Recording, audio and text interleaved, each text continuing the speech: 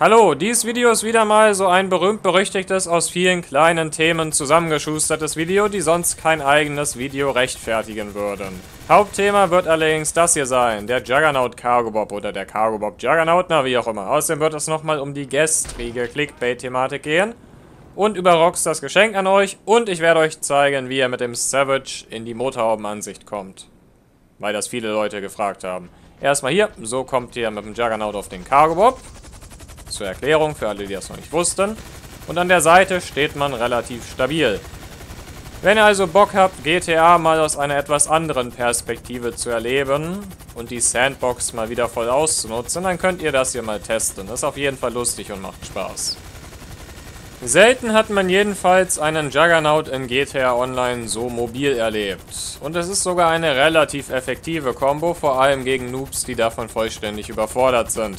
Gegen Tryharder vermutlich nicht so sehr, aber selbst wenn die euch mit einem Lenkraketenwerfer angreifen sollten, sowohl der Cargo Bob als auch der Juggernaut können mehrere Hits wegtanken. Ihr habt also ein kurzes Zeitfenster, um den Harzkopf am Boden zu belasten. Klingt doch erstmal gar nicht so schlecht. Gefährlich für euch ist allerdings so ziemlich alles, das mehrere Raketen in schneller Abfolge rausdrücken kann. Das beinhaltet sogar schon einen Bussard, Savage, verschiedene Jets, sogar das Batmobil, der Ruiner, Raketenbike. Vom Prinzip alles, was belastend ist, kann euch kontern. Ihr solltet also ein bisschen vorsichtig sein. Darüber hinaus, der Vorsicht halber, empfehle ich es auch dringend, dass der Pilot und der Schütze an der Seite in einer Organisation sind mit ausgeschaltetem Friendly Fire. Ansonsten kann es durchaus vorkommen, dass Unfälle passieren, wo beispielsweise der Juggernaut aus Versehen irgendwie in die Rotoren des Cargo-Bobs reingebackt wird. Sehr ungesund. Man sollte auch mit den Flugmanövern als Pilot des Cargo-Bobs ein bisschen vorsichtig sein. Zugegeben steht man an der Seite relativ stabil, wenn allerdings der Pilot einige extreme Flugmanöver an den Tag legt mit starken Neigungswinkeln, kann es vorkommen, dass der Schütze an der Seite ein bisschen zu sehr durchgeschaukelt wird und dann leider den Abgang macht. Der Juggernaut Suit tankt zwar einiges an Voll Damage weg, ab den Höhen, wo man normalerweise damit rechnet, dass man durch den Fall stirbt, stirbt man allerdings höchstwahrscheinlich auch die meiste Zeit im Juggernaut. Und dann muss man den langen Cooldown abwarten, bis man sich den Anzug neu bestellen kann und das ist sehr ärgerlich, also lieber ein bisschen ruhiger fliegen. Ist auch leichter für den Schützen dann zu zielen. Und wie ihr hier seht, ihr könnt das Ganze übrigens auch mit dem Scharfschützengewehr machen, beispielsweise mit Explo-Sniper. Und könnt dann den fliegenden Sniper machen. Auch gar nicht schlecht. Prinzipiell könnt ihr hier oben alle Waffen verwenden, die ihr verwenden wollt. Ihr müsst nur halt darauf achten, dass ihr in First Person schießt, um genau zu sehen, ob ihr den Cargo Bob dabei aus Versehen mit anhitten könntet oder auch nicht. Denn es sollte ganz klar sein, den Cargo Bob mit anzuhitten ist nicht so gut für die Gesundheit. Genauso gut wie runterfallen. Überhaupt nicht gesund.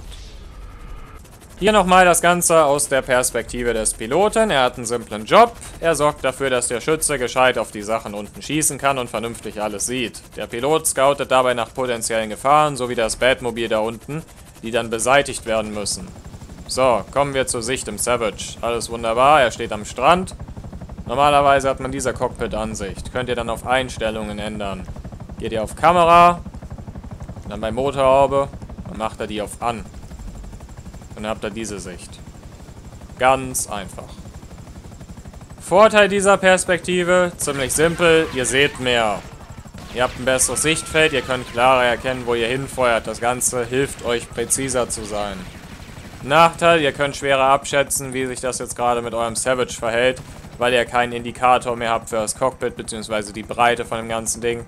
Das kann das Manövrieren in der Stadt schwieriger gestalten. Eure Entscheidung, was ihr da benutzen wollt. Jetzt seit dem Savage Buff bevorzuge ich, glaube ich, die Motorhaubenperspektive. Nächstes Thema. Rockstar verschenkt aktuell Geld. Es gibt 400.000 für alle, die sich bis zum 6. November in GTA Online anmelden. Hashtag Jubiläum, 4 Jahre GTA Online, juhu. Sollte man auf jeden Fall mitnehmen. Geschenktes Geld ist geschenktes Geld und 400.000 ist nicht wenig. Ausgezahlt wird das dann im Laufe der Woche folgend auf den 6. November. Also ihr bekommt das nicht sofort jetzt fürs Anmelden, sondern erst ein bisschen später. Also geduldet euch. Ihr kriegt es schon noch. Wir haben noch ein Thema, über das wir sprechen müssen und das ist die Thematik des gestrigen Savage Saturday Nummer 13. Und zwar Clickbait und Julex oder Julex oder wie auch immer Ich möchte an dieser Stelle klarstellen, dass meine Intention mit dieser ganzen Veranstaltung nicht war, ihn zu haten, beziehungsweise einen Hate-Train gegen ihn zu starten. Ich wollte relativ allgemein, wenn auch am Beispiel von ihm, auf diese Problematik aufmerksam machen. Es gibt noch viel schlimmere Clickbaiter als ihn. Und von daher, so viel Hate hat er nicht verdient, da gibt es andere, die haben den noch viel nötiger.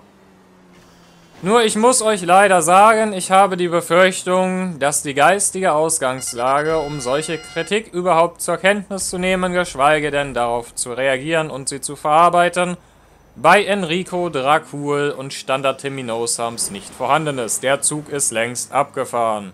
Das kann man zumindest Julex zugutehalten. Er hat sich die Mühe gemacht, ein Statement dazu zu verfassen und sich damit zu beschäftigen. Und dieses Statement war sogar relativ einsichtig, insofern, dass er zugegeben hat, dass er selbst Clickbait betreibt und in einem gewissen Maße auch, dass Misleading Thumbnails ziemlich scheiße sind. Die Frage ist, welche Konsequenzen er für sich jetzt auszieht, ob er sein Verhalten in Zukunft bessert. Das wäre sehr wünschenswert, dann könnte ich sogar mit Stolz behaupten, ich hätte die GTA Online Community auf YouTube besser gemacht. Und dann sollte man ihn dafür auch loben, anstatt ihn weiter zu haten. Heißt wohl abwarten. Sollte er sein Verhalten nicht bessern, könnt ihr einen Haken dran machen, dann habe ich es immerhin versucht. Ich hoffe, das Video hat euch gefallen.